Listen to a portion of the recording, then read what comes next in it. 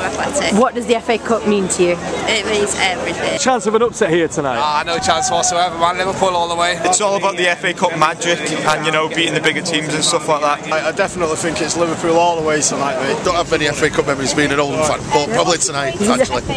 Well, it's going to be a bit tricky. Obviously, they'll be up for it. They're the underdogs, but I think that we'll do quite well.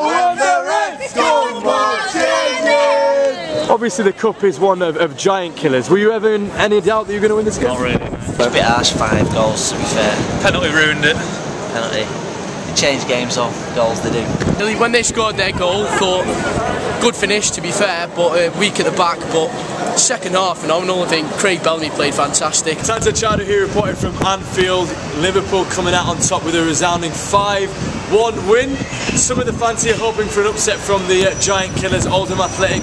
They did their neighbours over Everton. They've also forced United to a replay back in years gone by, but unfortunately they weren't able to force the upset tonight.